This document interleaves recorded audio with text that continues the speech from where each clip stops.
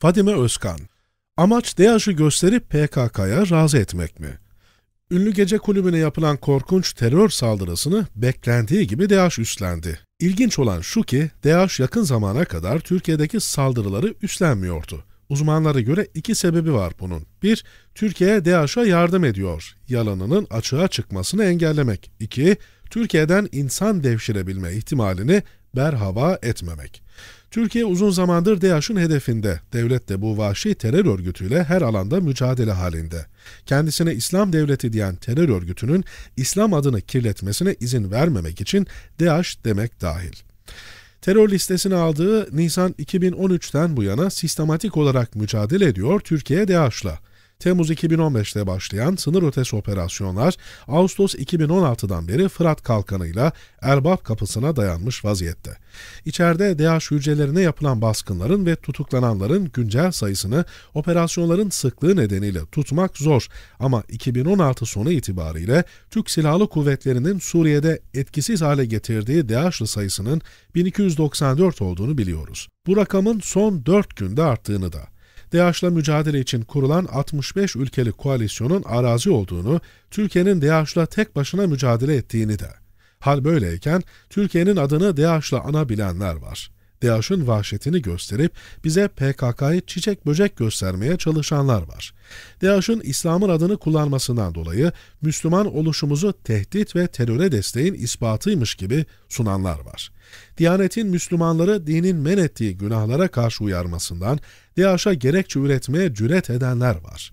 DAEŞ'ın Medine'de mescit yakınında da bomba patlattığını perdeleyip Müslüman eşittir DAEŞ iftirasını oturtmaya çalışanlar var.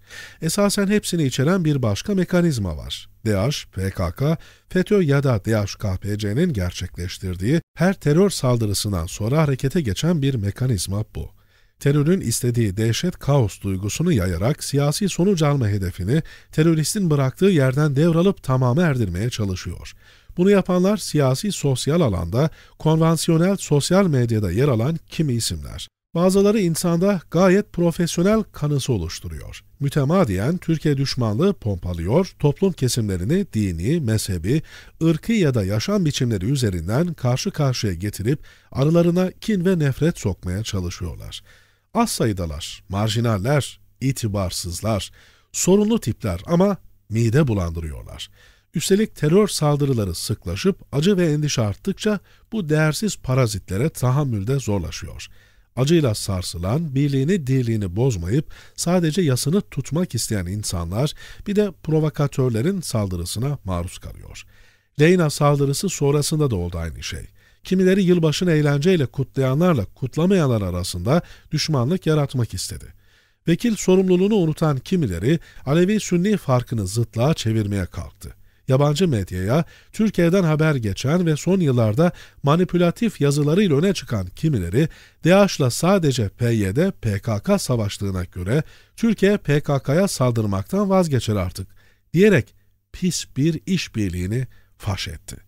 Keza Batı medyası fırsat bu fırsat PKK'yı aklamaya kalktı. Saldırıyı PKK üstlenmedi, üstelik kınadı diyerek PKK'nın terör örgütü değil bir tür sivil toplum kuruluşu olduğu havası yaratmak istedi. Tıpkı Cumhuriyet gazetesinden AY'nin vaktiyle Kandil'e gidip PKK yöneticilerinin görüşleri görünümündeki PKK propagandasını PKK'lıların çevre dostu olduğu, ağaçları koruduğu, yere izmarit bile atmadığı vurgusuyla vermesi gibi. Ez cümle şu artık iyice netleşti. 1. Terör örgütlerinin adı, saldırı zamanı, mekanı değişse de hedef değişmiyor. Toplumsal çatışma çıkarmak ve halkın devlete inancını sarsmak. 2. Terör örgütlerini manivela olarak kullanan el, bize DAEŞ'ı gösterip PKK'ya razı etmeye çalışıyor. Fadime Özkan, Star Gazetesi